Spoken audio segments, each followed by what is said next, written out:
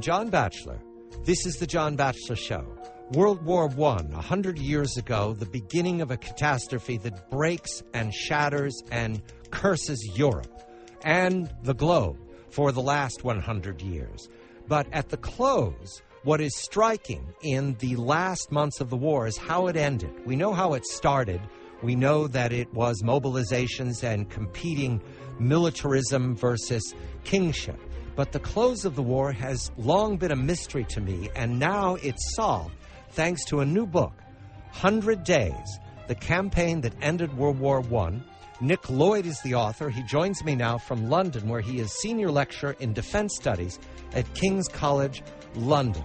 Nick, Professor, a very good evening to you. Thank you for this. Before we plunge into the generals and their conferences, poring over maps at Chateau, and the Kaiser and his anxiety and defensiveness, this is a personal story for you and your family because you lost your great uncle in the last days of the war at a, a battle called Canal du Nord.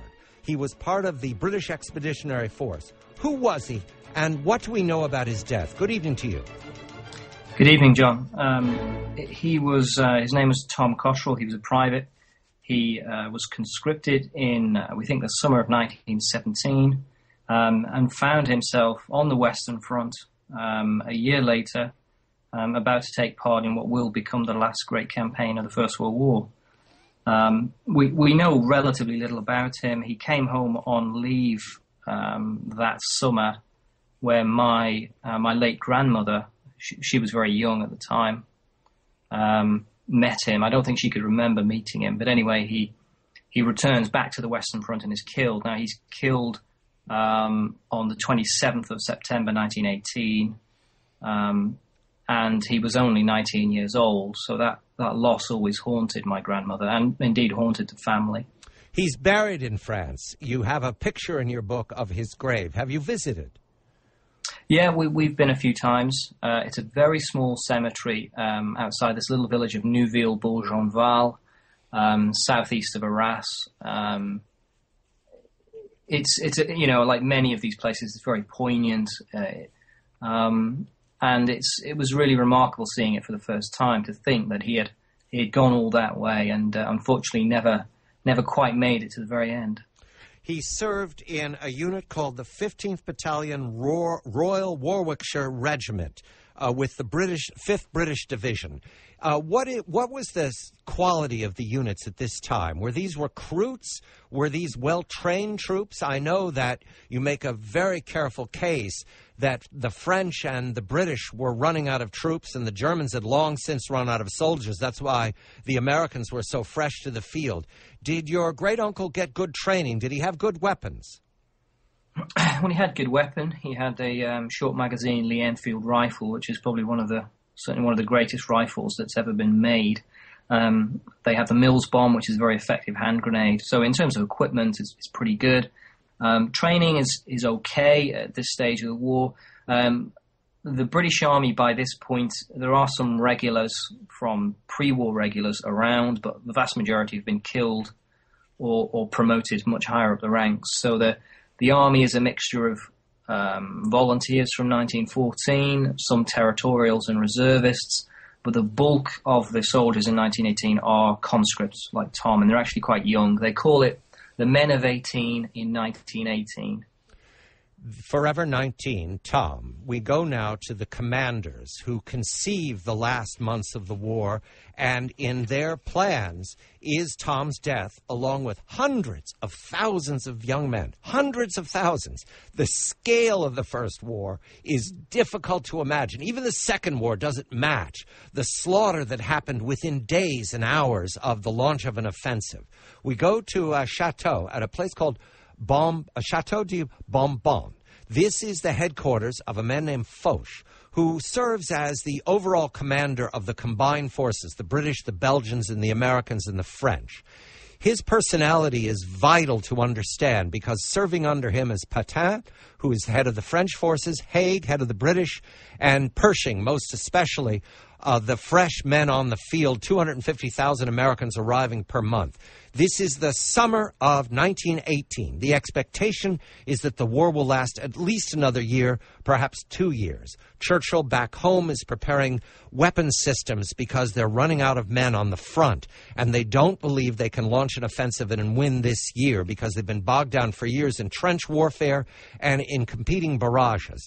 Nick, this meeting, Foch lays out what you describe as a battle plan fresh battle plan. What's new about it? What does he say to these generals that inspire them that they can that they can win the next battle? Well, obviously they're they're trying to work out what to do after you've had this. Um, there was a, a, series of German offensives during the spring. The final German offensive is on the Marne, which doesn't do very well. The Allies counterattack on the 18th of July. Um, and now on the 24th of July, Foch gathers the commanders together and tries to work out what to do next, primarily to maintain the initiative to keep the Germans on the back foot. Um, at this point, he has no inkling of what is about to happen and how deep the rot has set into the German army. Um, so really, what he wants to do is, is keep the pressure on the front, secure um, particularly rail hubs. There's a rail hub at Amiens that's under pressure, and that's a key rail hub, certainly for the British. Um, Saint-Mihiel, they want to put pressure there. So it's about maintaining pressure on the German army, getting key locations, and primarily maintaining the initiative. Uh, Nick mentions the two places that are going to be critical in these next weeks for the offensive Amiens, the railhead, and that will be the first battle. But before we go there, the success of the Allies at Amiens sets up the order of battle and the weapon systems that break the German resistance all along, from the vast battlefield in the north in Belgium, stretching all the way down to the, the to Verdun in France. The the personalities, Nick, are vivid. Haig. Haig is the commander of the British Expeditionary Force. However, you emphasize that the British Prime Minister Lloyd George hates him. Why? well, Lloyd George um, never really wants to fight on the Western Front. He wants to fight anywhere else, pretty much than that, because he thinks it's it's too hard. The Germans are not going to be defeated, and primarily he thinks Haig is a butcher. He thinks Haig is a man who has uh, squandered the, the lives of too many British soldiers. So um, Lloyd George is really consistently undermining Haig. Um, and doesn't really want to give him any more men because he fears that if he gives him the more men, uh, they'll just become casualties. So it's this huge civil military disruption or fracture in Britain at this point uh, between a commander in chief who just wants to keep battering away at the line and a prime minister that really wants to do anything but that, but feels he can't muster up the enough enough power to get rid of Haig. So there's exhaustion at home and Haig is aware of that, and Lloyd George is aware of it, but they're balanced at this point. A victory or defeat on the battlefield could turn one man or the other in superior, uh, uh, in superior form. Foch you describe as inspirational, but Pétain, the man who will go on to infamy in the Second War because of his political considerations, you describe as earthier. What is their relationship, a French generalissimo and a French generalissimo? Well, obviously, um, Foch is a man who has been for many years committed to the offensive as an idea in the French army, um, wants to attack, is, if you like, more of an Eisenhower type figure um, in terms of, you know, trying to encourage his subordinates, keep them going, give them broad directions, but, um, but that's it. Pétain, as commander in chief of the French army, um, is primarily indeed solely concerned with keeping his army going because by the summer of 1918, the French are quite literally on their last legs. They, they have no reserves. Um, the troops will not be pushed hard. Um, and Pétain is just about saving enough of the army um, for uh, possibly into 1919. Um, Pétain is a man who has never particularly been an advocate of the offensive, and his career suffers from that earlier on uh, in his career and earlier on in the war. Um, but as the French army is battered um, and fails to attack or fails to win battles on the Western Front, Pétain is turned to as the man um, who seemed to understand the Western Front better than any other French commander. The troops love him; they recognise that he is a man who is who will look after them, who won't squander their lives. So Pétain has that natural feeling for the Western Front in a way that perhaps Foch doesn't. Um, but really, Foch's time has come now. He is the man with that drive and determination is just what you need at this point. Right. Keep, attacking. keep attacking, keep advancing, attack, attack, attack. The fourth general that's important here is Pershing, and we'll speak of him later when the Americans go into the offensive because that's an unknown at this point. The Americans Pershing and Wilson have both stayed back, refused to be recruiter, uh, recruiting depots for the British Army. They've trained on their own, and they're pouring into the battlefield. A quarter of a million per month.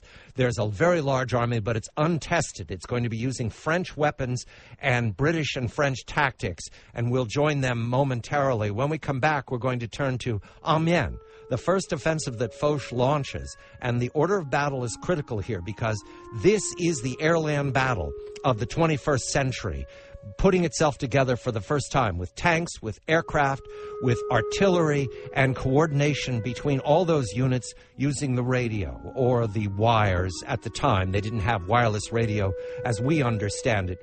Uh, the book is 100 Days, the last 100 days of the war. It has a surprising twist, but right now, hundreds of thousands of casualties to win battles. The campaign that ended World War I, Nick Lloyd, I'm John Batchelor.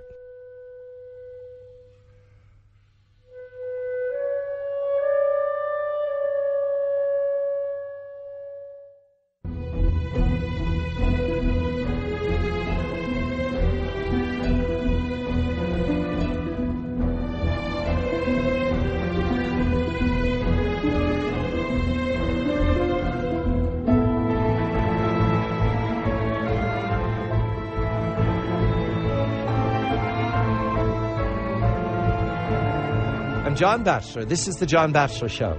8 August, 10 August, 1918. It begins at 4:20 a.m. 8 August. That's the moment that the barrage lights up the sky. They describe it variously in Nick Lloyd's new book 100 Days as hell lighting up. That you can look at fireworks in the distance, the pounding, all everybody waiting to go over the top or to advance is awed by it. It humbles people. But at the same time, there's an innovation here that has been ordered by the commanders uh, in their planning for the final offensive against the Germans. Amiens is a rail junction, but most importantly, the British 4th, the French 1st are up against Marwitz's German 2nd. And the Canadians and Australians are also fighting here, the Dominion troops under the General Currie and Monash. But here's what I learned from Nick Lloyd. The barrage is very short, Nick. Why? Well, primarily they have they've after many years of development, they've actually worked out the system where they, um, in terms of firing off the map, as it's called, where they um, they don't need to have the lengthy preliminary bombardment that you'd had on the Western Front. Um, you can actually just fire off um, without alerting the enemy to the long four or five day preliminary bombardment. Um, everyone's much better trained. The artillery is much better at this point, so they can actually um, use firepower with surprise. They call it a creeping barrage. How does it work? If I'm in the front lines, an infantryman advancing with tanks, what do I see in front of me? Well, you'll just see a.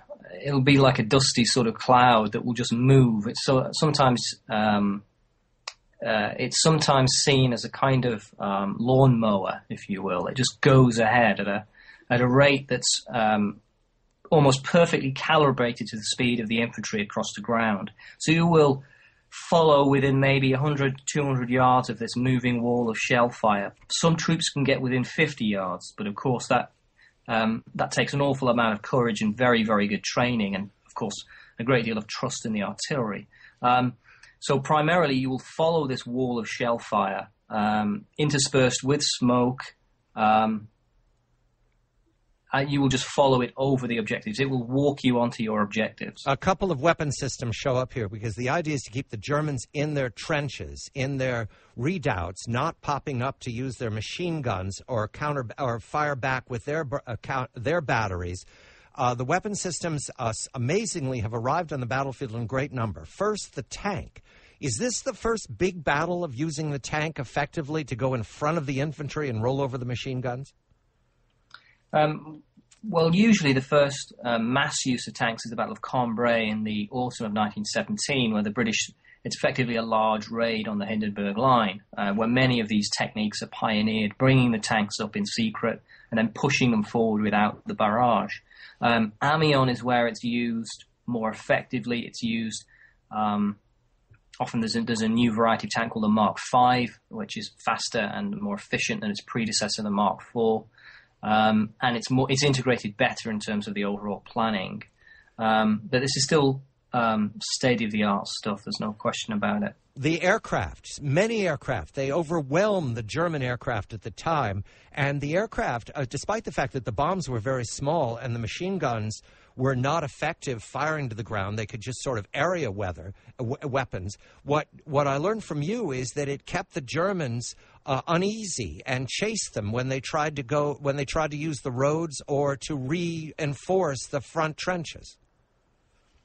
Yeah, this is something you you see a lot of in the accounts of German soldiers in this part of 1918. There's a, a real sense that they've certainly the German Air Force is losing control of the air. Um, they don't have enough aircraft. They don't have enough fuel. The pilots are being killed off. So the Allies have an ability to put aircraft over the battlefield. And of course, pilots go low searching for targets of opportunity. And of course, this produces absolute panic and havoc amongst German um, either German front troops or German reserves moving up, and they're almost always, as they near the battlefield, coming under air attack. Um, and it's very similar to something like Normandy in 1944. It absolutely produces um, a sort of paralysis in the German army.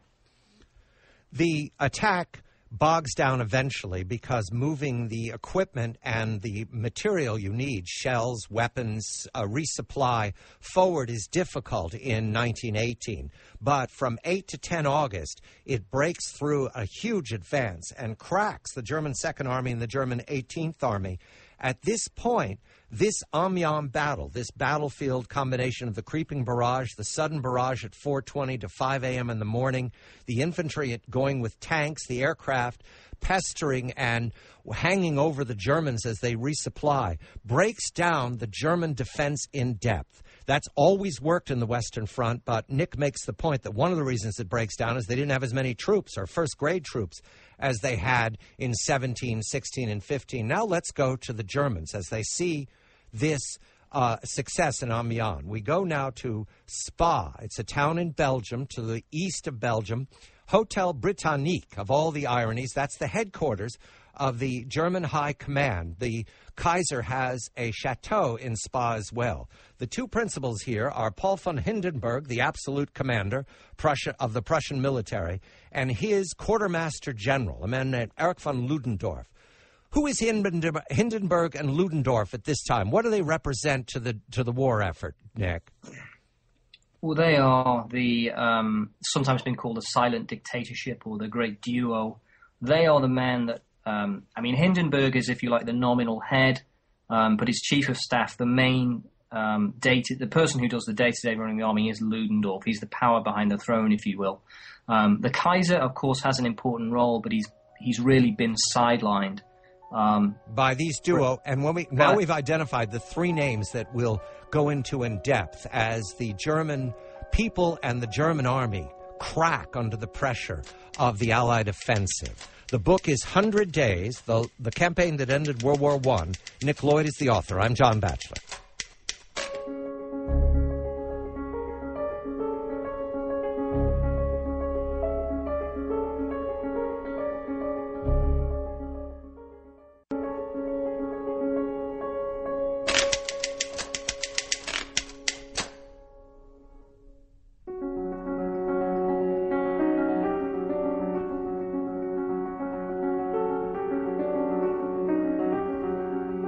I'm John Batchelor. This is the John Batchelor Show. Into the Hotel Britannique with Nick Lloyd, the author author of Hundred Days. I've seen photographs of it, Nick, and it is not very impressive. Although it looks like a like a Marriott with, uh, with, you know, with gables and sort of French dome architecture. But I can imagine the German general staff inside with the Kaiser always in attendance, or the Crown Prince, or the other sons of the Kaiser, the Hohenzollern, hanging around it, and Hindenburg and Ludendorff at the center of it.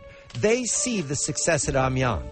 You emphasize that at this point, Ludendorff's personality, his energy, but also his brittleness are important. What's happening to Ludendorff? What does he see and what does it do to him? Well, Ludendorff is the sort of apostle of the offensive, and he has wanted to destroy the Allied armies on the Western Front. He's tried to do it in the spring. He's a very intelligent man. He is a man of great energy, but of course, as you say, he is very brittle.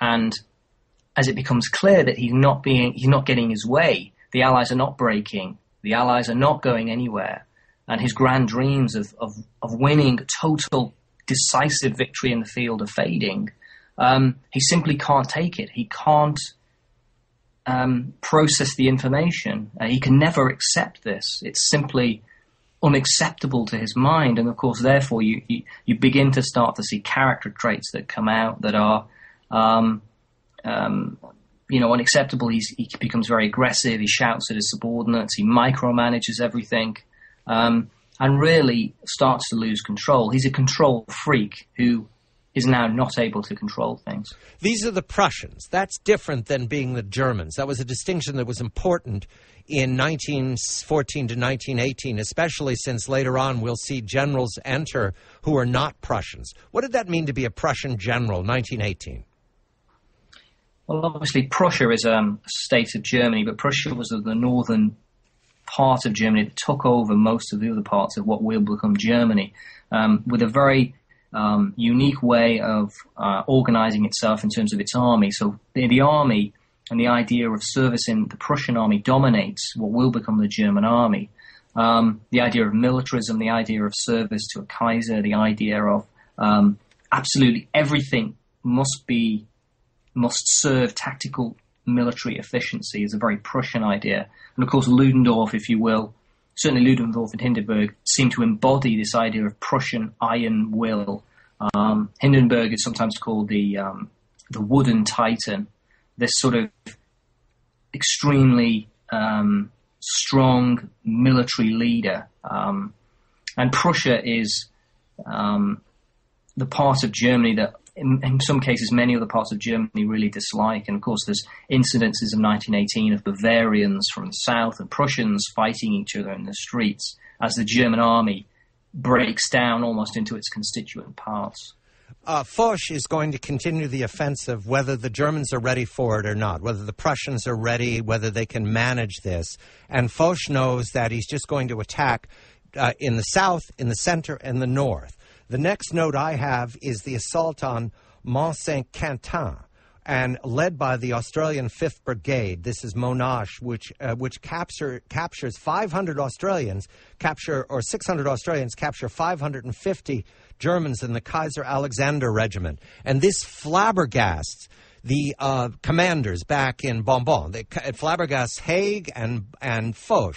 Why? The Australians fought very well, but what's significant about five or 600 men capturing 550? Well, it's it's really an indication of how quickly the German army is beginning to cr- crumble. Mont Saint Quentin commands the town of Peronne, um, uh, and it's a very, very strongly held defensive position. Um, Yet the Australians, aggr- using infantry tactics that are aggressive, they're innovative, managed to take this, um, which means that the hold that the German Second Army has on the line of the Somme in Peronne is now gone, so they have to retreat further. Um, so this really illustrates, and it becomes clear to Foch that he needs to have plans in place for something, you know, success happening more and more like this, um, and the fact that the German army is maybe breaking up quicker than they had anticipated. That's right, why I think right. that is an important point because it illustrates that the quality of even supposedly elite German troops is now really on the wane. Right. The numbers don't tell you, so we'll go into the specifics. But the 17th, 2nd, 18th, and 9th Army, German armies, between uh, by early September had lost 100,000 men since uh, since the Amiens offensive in uh, in August. So the fall away here is all casualties killed, wounded, and uh, captured. All casualties are piling up. But why? there's a there's a moment that captures all of it.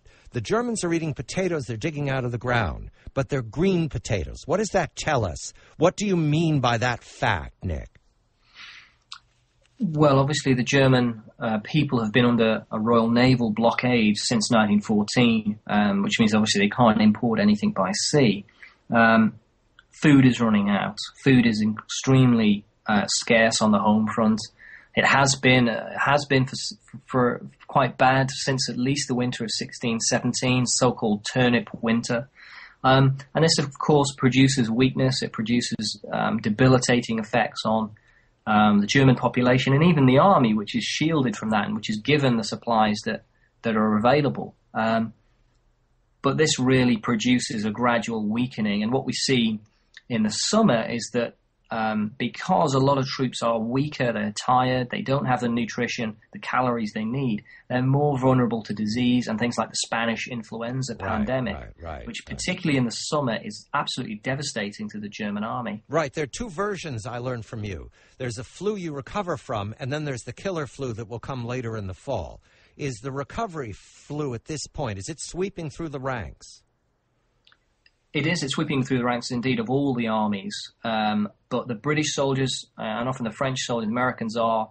Um, they they have more calories. The supplies are Right. better. They are able to have the food they they need.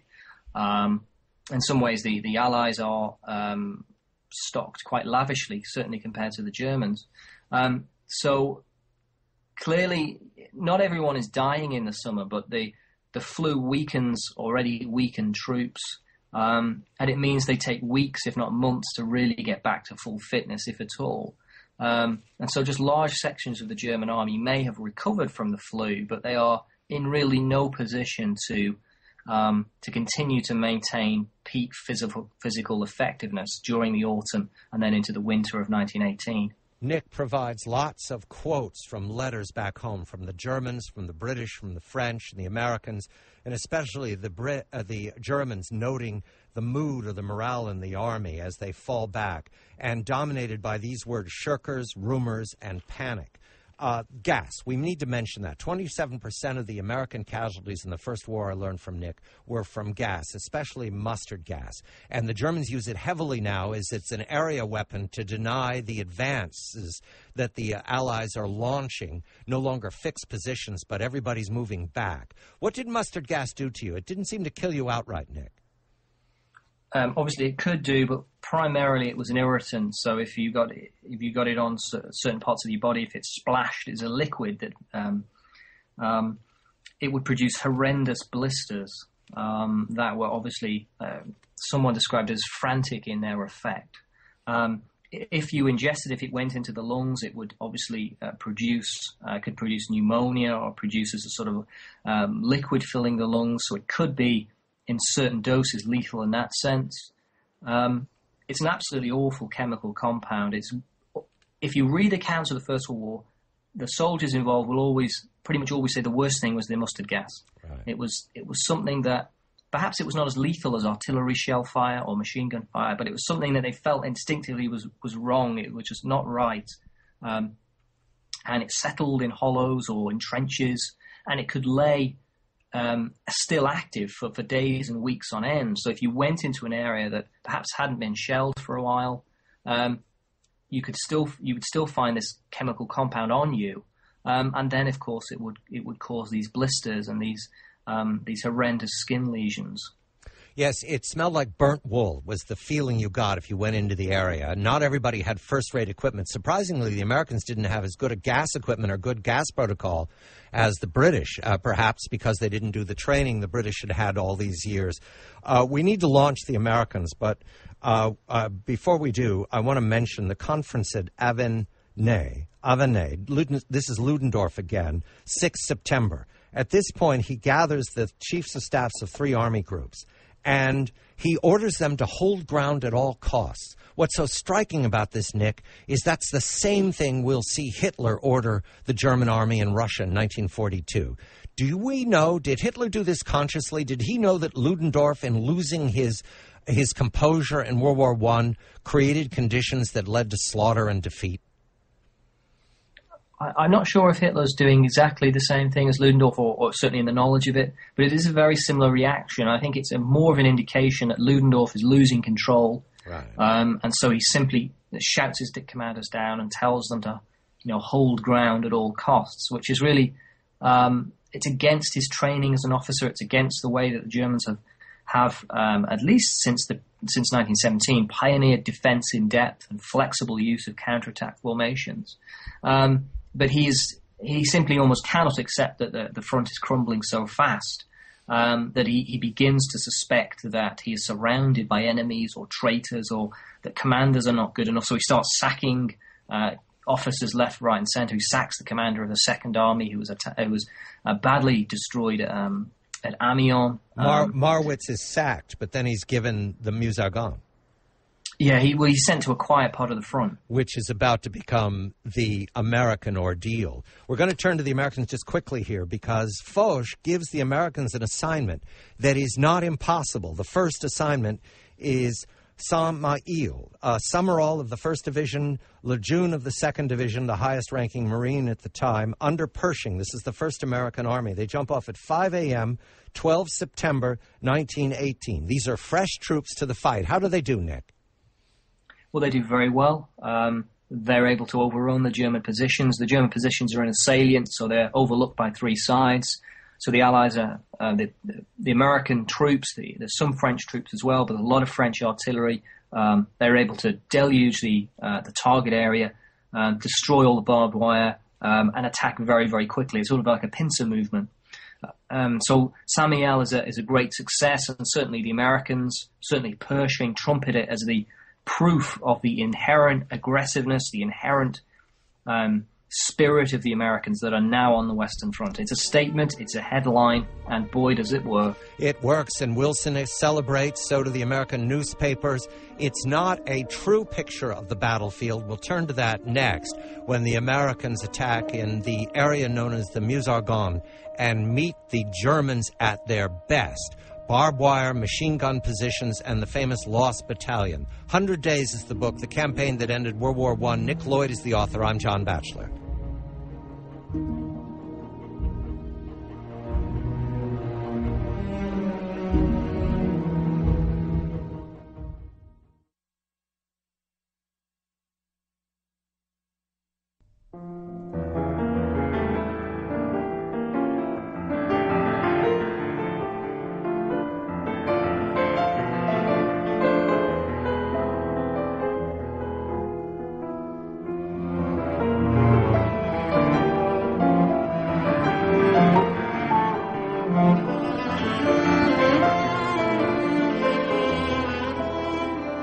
I'm John Batchelor. This is the John Batchelor Show. Nick Lloyd is here. We are following the last weeks of the First World War, and it ends very badly. It ends in collapse of Germany. It ends in conditions that create a failed state of Germany, and we know for the rest of the century that failed state will create catastrophes for Europe and for the planet. But right now, and Nick follows one particular uh, young soldier. He's 29 years old. His name is Adolf Hitler. He serves in a battalion, a regiment that is uh, used in the north against the Brits, I think, and against the French, but he's gassed very badly, so he's not in at the finish. He's gassed, he's hit with mustard gas, and Nick will follow him through, but right now we have to turn to the Americans. They move the Americans from their success at Saint-Mihiel to the Meuse Argonne, and the jump off uh, tells the Americans that this will not go well. What happens in the Meuse Argonne? What are the conditions that the Americans attack? Well, they're aiming at driving north to seize the city of Sedan. Um, so they'll cut off German troops to the west and north. So in terms of strategical objectives, it's very important. The only problem is the Meuse Argonne is is awful, awful ground. It's hilly, uh, forested. It's re- regarded as being impassable. Uh, the French think that there's no way you can drive forward into this terrain.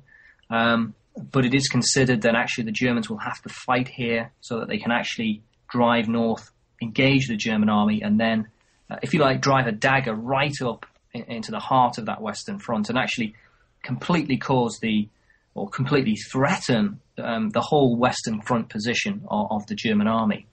there's a position known as Montfaucon. That's the forest of Montfaucon. What happens there, Nick? Well, this is regarded as the, it's sometimes called the kind of little Gibraltar um, after the British fort. It's, um, it's, it's on high ground. The Germans have all the observation. It's very well fortified, concrete bunkers, pillboxes. Um, and that has to fall in the first day in order for the attack at uh, Meuse-Argonne to succeed.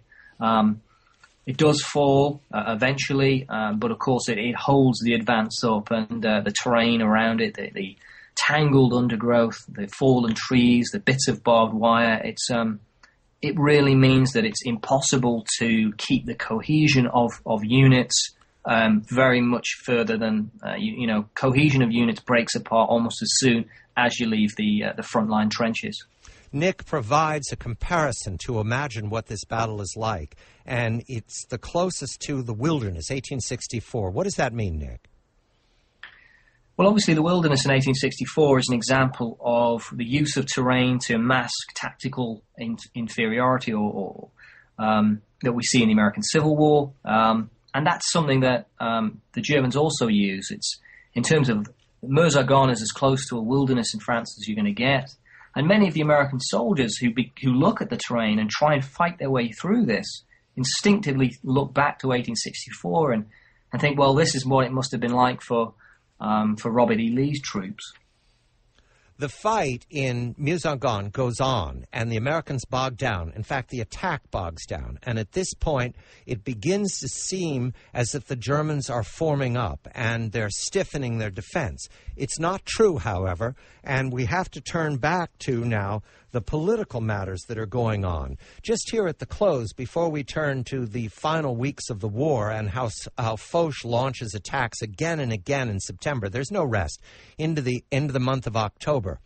Is Hindenburg having an uh, is, is Ludendorff having a nervous breakdown, and does Hindenburg see it? This has always been the controversy, the idea that um, Ludendorff loses control and loses his nerve. And I do think there's something in that.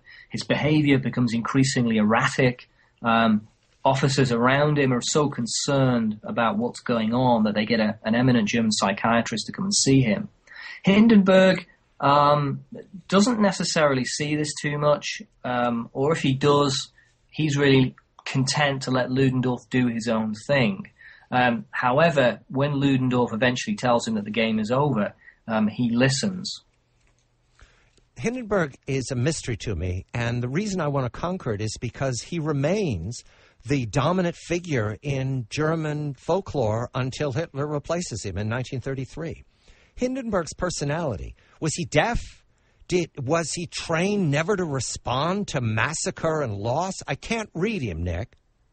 No, you I think you make a very good point. He he is very difficult often to penetrate the myth of the wooden titan, the great sort of iron jawed um, general of legend. And in some ways, the, the, the, Hindenburg myth, the victor of Tannenberg in 1914, when he when he oversaw the crushing defeat of the Russians, um, he becomes a kind of what they call an ersatz Kaiser, a sort of substitute Kaiser, and actually trying to penetrate the man beneath this kind of iron myth is very, very difficult.